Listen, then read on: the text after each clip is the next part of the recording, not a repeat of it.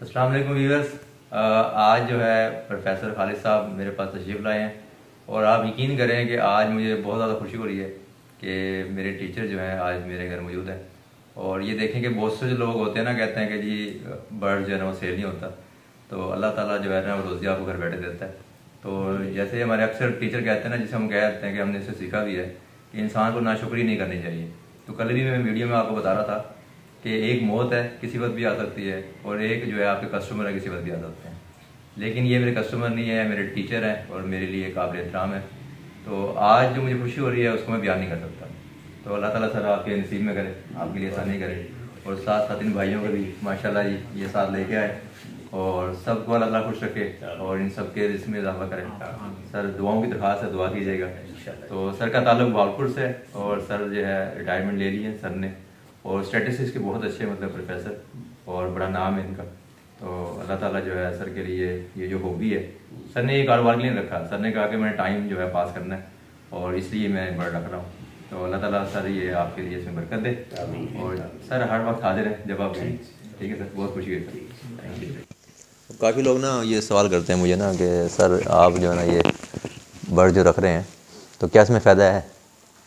तो मैं फिर अक्सर ये कहता हूँ कि अगर फ़ायदा ना होता, फिर मैं क्यों रखता? बस मैं कुछ भी दलील नहीं दे रहा आपको। अगर फ़ायदा ना होता तो मैं क्यों रखता? अच्छा फिर ही मैं उनको साथ साथ ये भी समझाता हूँ कि किसी एक बर्ड के पीछे नहीं भागना। अब, अभी आपने कुछ देखा होगा ना, कुछ लोग अभी कह रहे हैं कि अल्बाइनो जो है ना, जो वीडियोस देखते हैं ना, कि अल्बाइनो पिट गया, सेल नहीं हो रहा, और जो क्रीमिनो पिट गया, सेल नहीं हो रहा, ये हर साल ही लोग रोते हैं ऐसे। फिटनेस मुराद क्या होता है फिटनेस मुराद ये होता है कि मैं ये चाह रहा होता हूँ कि जिस रेट पे मैंने बर्ड लिया है ना मैं उसी रेट पे सेल करूँ। तो अब हाँ। जी तो ऐसा हो भी सकता है। आप उस रेट पे भी सेल कर सकते हैं उससे कम में भी हो सकता है रेट उसका ज़्यादा रेट भी हो सकता है। तो ये सारी चीज़ें आपको माइंड में रखनी पड़ेगी क्योंकि ये मार्केट है ना। तो इसमें चीज़ें ऊपर भी चली जाती हैं नीचे भी चली जाती हैं। अभी मैं एक एग्जांपल आपको देता हूँ मकई की फ़सल की। हाँ जी ठीक है जी। तो उसमें जैसे ही वो किसानों की मतलब फ़सल आई है तो उन्होंने क्या किया कि डाउन कर दिया सरमादारों ने रेट और हज़ार ग्यारह सौ बारह सौ रुपये भी लोगों से नहीं ले रहे थे। मेरा ताल्लुक मतलब है ज़िम्मेदार तबका हमारा। तो जैसी बात है इस फ़ील्ड से भी है ज़रात से भी है। तो उस वक्त मैंने कहा कुछ लोगों को कि होल्ड करें। ठीक है जी तो लोगों ने उस वक्त होल्ड नहीं किया जल्दी जल्दी क्योंकि सारे बेचारे पैसे देने होते हैं। तो लोग सिर कर हाँ जी। तो ऐसे ही फंसे हुए हमारे बर्ड वाली फ़ील्ड में भी हैं बेचारे। ठीक है जी वो फिर लोग वो कहते हैं मैंने बेचना है बेचना है फिर अगला बंदा अपनी मर्ज़ी का रेट लगाता है। तो अब देखें दो हज़ार रुपये पे सेल हो रही है आपके सामने।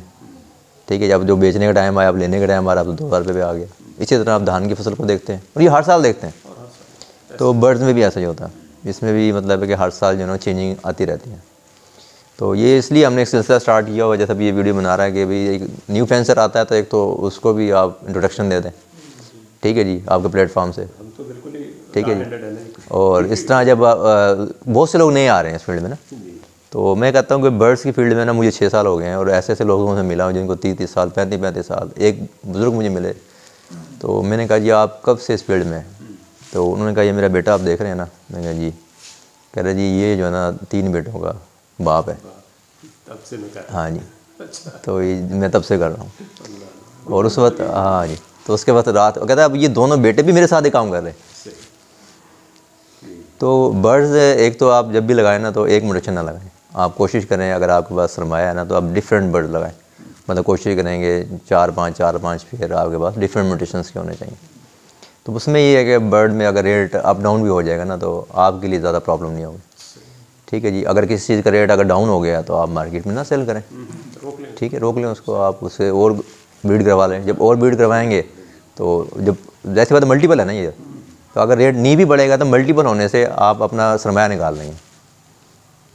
ये इसके अंदर चीज़ें हैं यानी मतलब कुछ सवाल आपके भी होंगे। तो अगर आपके कुछ जहन में सवाल हैं जैसे अब आप न्यू हैं तो जैसी बात मेरी फ़ील्ड से हैं एजुकेशन फ़ील्ड से हैं और आपने इतने अरसा सर्व किया है। हाँ जी। तो जी जी। हमें उनसे तो कोई सही बात हाँ जी। तो दूसरी बात ये है कि आप मेरे उस्ताद के कुलीग है हमारे हमें तो हमारे उस्ताद ही हैं आप। तो माशाल्लाह ना मैंने नाम उस वक्त भी बड़ा सुना था आपका मैंने। आपसे पढ़ा नहीं है लेकिन नाम मैंने बड़ा सुना था माशाल्लाह आपका भी। तो अल्लाह ताला जो है जजा खैर दे। और कोई भी सवाल अगर आपके जहन में है तो आप ज़रूर करें इस प्लेटफॉर्म से। इन ताला आपको बिल्कुल सही इसके बारे में हम गाइड करेंगे। सवाल आप करेंगे इन हम आपको सारा जवाब सवाल तो देखें जी उसके लिए है कि अभी तो अभी हमारे पास सरमाया बहुत थोड़ा सा है। तो हाँ जी। सरमाया बहुत थोड़ा है अभी तो। तो अभी कोई सात आठ पेयर अभी हमको का कर रहा हूँ मैं जी जी। इंसान। तो उसके लिए मैंने वो कौन से लिए? सिपलेट स्प्लिट जो है वो लिए। अल्बाइनो में अल्बाइनो के। तो अभी इन्हीं दोस्तों का मशवरा है कि जी वो आप इसके साथ रेड आई लगाएँ।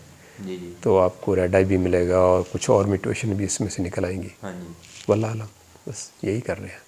आपने इन्हें मशवरा दिया कि आप स्प्लिट के साथ विजुअल बर्ड भी लगाएँ। जी जी ऐसे ही आपका तजुर्बा है स्प्लिट में? नहीं तजर्बा तो नहीं है बस मुझे भी दो एक साल हुए हैं। मगर जैसे कोई दोस्त होते हैं करते हैं उन्होंने कहा अगर ये आप साथ लगाएँगे तो इनकी ज़रा ब्लड लाइन जो है ना वो स्ट्रॉन्ग हो जाएगी ज़रा। सही। रेड टू रेड लगाएँगे तो उसमें बच्चा मरने के चांस बहुत होते हैं। कम हो ज़्यादा होते हैं। ज़्यादा के तो ज़्यादा होते हैं। तो इसलिए फिर उन्होंने कहा कि स्पीड आप लगाएँगे ना तो बच्चा ज़रा थोड़ा स्ट्रॉन्ग हो जाएगा ब्लड लाइन और बच्चे की मोटालिटी जो होगी ना वो कम आएगी। तो पहला एक्सपीरियंस है।